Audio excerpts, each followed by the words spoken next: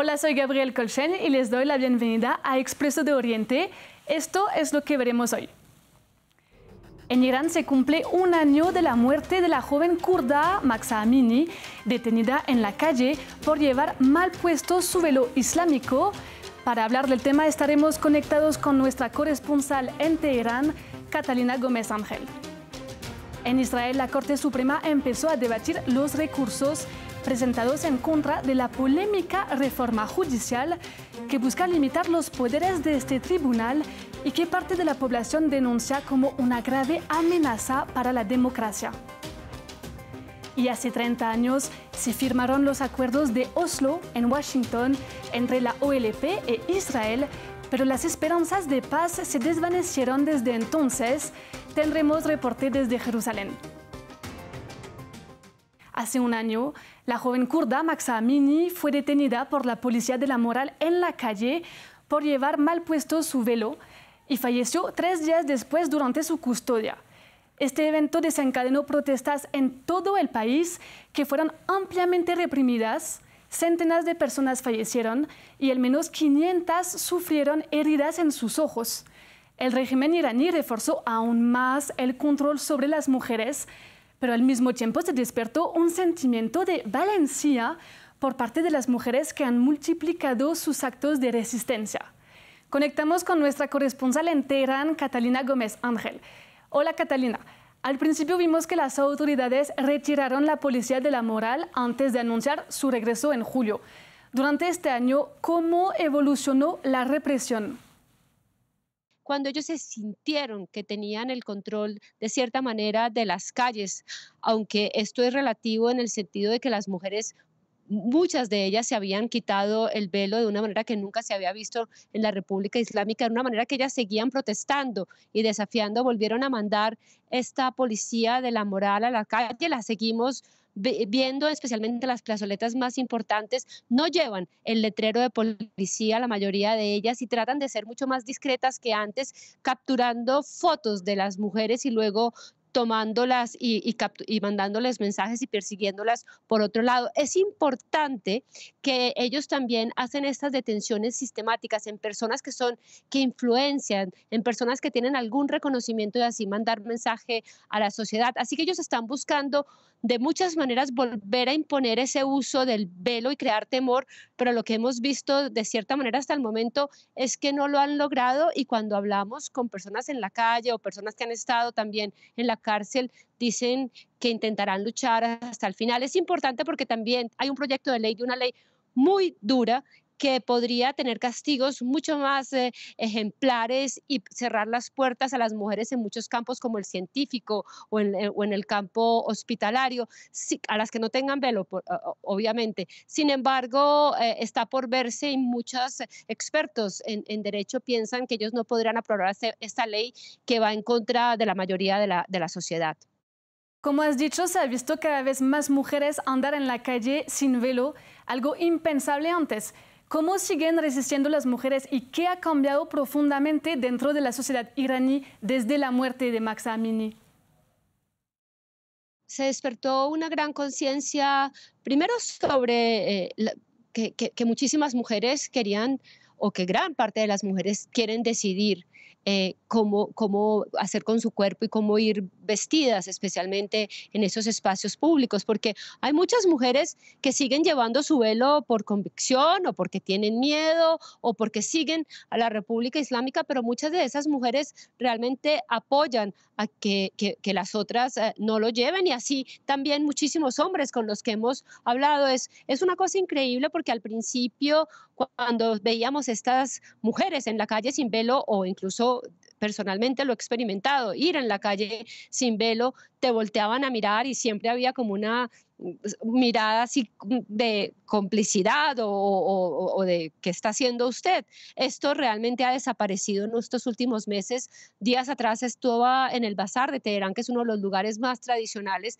Había muchísimas mujeres sin velo y nadie las volteaba a mirar. Y también hay una conciencia de la sociedad de la, de la violencia con la que reprimen estas protestas y con las que atacaron a estas mujeres y también hombres. y eso creó un mayor distanciamiento de un sector de la sociedad mayor del que ya existía del sistema hasta el punto que uno ve al gobierno, al sistema y al gobierno gobernando solamente actualmente para esa gente que cree en ellos, que los apoya, que está siempre el, interrogante de, cuán es la proporción de la sociedad que realmente está con ellos. ¿Qué efecto tuvo esta ola de protestas en la región? ¿Ha afectado a algunos países vecinos de Irán?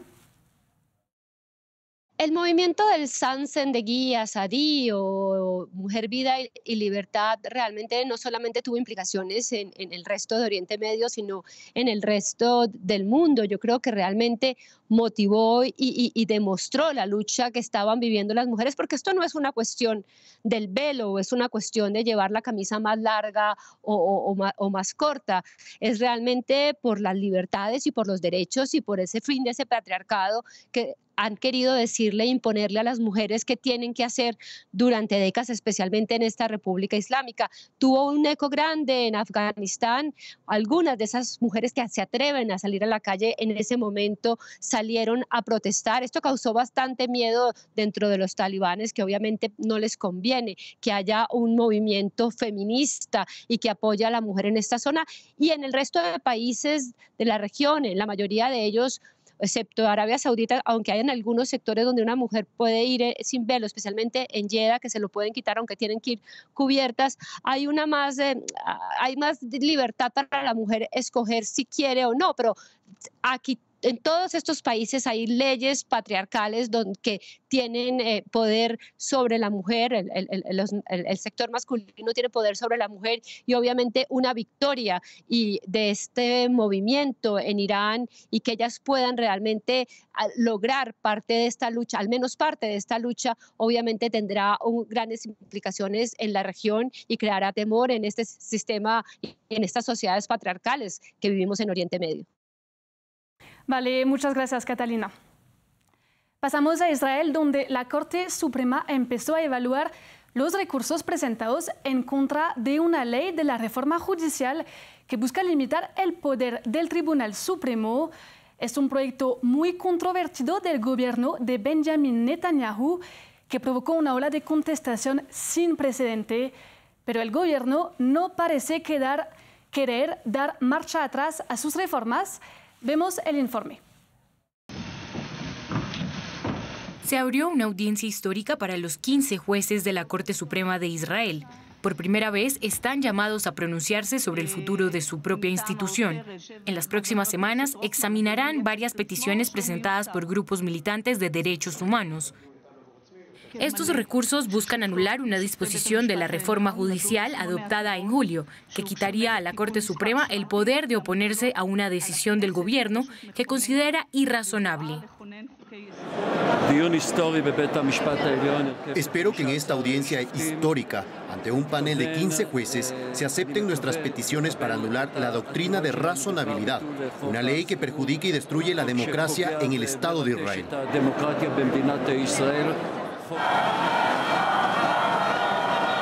Los israelíes se han manifestado en las calles durante 35 semanas consecutivas en contra de la reforma judicial. Acusan al gobierno de querer limitar los poderes del Tribunal Supremo y aumentar el poder ejecutivo. También denuncian que Netanyahu, juzgado por varios casos de corrupción, podría usar esta reforma para liberarse de sus problemas judiciales. El Tribunal Supremo israelí está en peligro inminente por culpa de este gobierno corrupto y debemos detenerlo ya. El ministro de Seguridad Nacional ultraderechista Itamar Ben-Gvir dice buscar un reequilibrio de los poderes y no tiene la intención de ceder. Estoy a favor del diálogo, pero en contra de la capitulación. La reforma es importante para Israel. Equilibrará los tres poderes, legislativo, ejecutivo y judicial.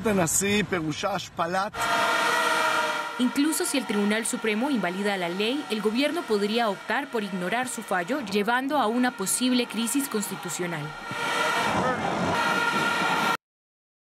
Y hace 30 años, Isaac Rabin, primer ministro israelí, y Yasser Arafat, representante de la Organización para la Liberación de Palestina, se estrecharon las manos un gesto histórico en Washington, símbolo de la firma de los acuerdos de Oslo, que fueron saludados como un reconocimiento mutuo, dando la posibilidad de una paz duradera. Sin embargo, desde el inicio, Oslo fue profundamente desequilibrado. Por un lado, la OLP reconocía el derecho de Israel a existir y vivir en paz, pero en el otro lado, Israel solo se comprometía a negociar con la OLP como representante del pueblo palestino. Poco a poco la esperanza de la paz se alejó con el asesinato de Isaac Rabin y una muy violenta segunda intifada. Desde 1993, el balance es mortífero. Más de 10.000 palestinos murieron en enfrentamientos con israelíes frente a más de 1.500 del otro lado. Otra manifestación del fracaso del acuerdo es el control cada vez más fuerte del territorio palestino por Israel y la multiplicación de las colonias en territorio palestino ocupado. Nuestra corresponsal en Jerusalén, Janira Gómez Muñoz, nos explica en qué fallaron estos acuerdos. Hace 30 años los acuerdos de Oslo infundieron un cierto optimismo, representaron un acercamiento entre israelíes y palestinos, pero a la vez se concibieron con unas grietas que hoy nos llevan a hablar de su fracaso. Sin obviar que fue una negociación que se llevó en secreto y en paralelo a la oficial en Washington, Oslo fue un arreglo provisional, un trato transitorio que sin una ruta clara se fijó a alcanzar una paz duradera entre la fecha de la firma 1993 y el año 1999. Una horquilla de más de cinco años que dio tiempo a los detractores más extremistas para boicotear esos acuerdos. Mientras, Israel siguió aumentando la población colona y su ocupación militar en Cisjordania ocupada. Algunos partícipes del proceso y analistas que echan hoy la vista atrás coinciden en que Oslo no abordó dos cosas claves. Primero, no hubo ningún compromiso escrito para frenar los asentamientos que han pasado de 128 a unos 300 en 30 años. Y segundo, mientras el liderazgo palestino reconoció al Estado de Israel Israel mantuvo fuera las palabras Estado palestino. Pese a todo, estos acuerdos temporales han creado, crearon la estructura que hoy rige la vida de los palestinos bajo la ocupación. De ahí surgió la autoridad palestina, a la que Israel reprocha no controlar a los distintos grupos palestinos, o el hecho de que Cisjordania se dividiera en tres áreas administrativas y de seguridad, las llamadas áreas A, B y C. Pero para los palestinos esa estructura es sinónimo de un mandato palestino corrupto y sin legitimidad y sobre todo de vidas marcadas por el control, la restricción de movimiento, la destrucción de sus casas y la violencia mortífera tanto del ejército como de los colonos, entre otros derechos vulnerados. Así, 30 años después, las juventudes de ambos lados creen cada vez menos en una solución de dos estados, mientras las perspectivas de un diálogo son inexistentes con unos liderazgos radicalizados como Hamas en Gaza o el extremismo del gobierno de Benjamin Netanyahu, una figura que históricamente ha sido anti-Oslo. Llegamos así al final de esta edición de Expreso de Oriente. Muchas gracias por acompañarnos. Los invito a seguir toda la información en nuestra página web france24.com.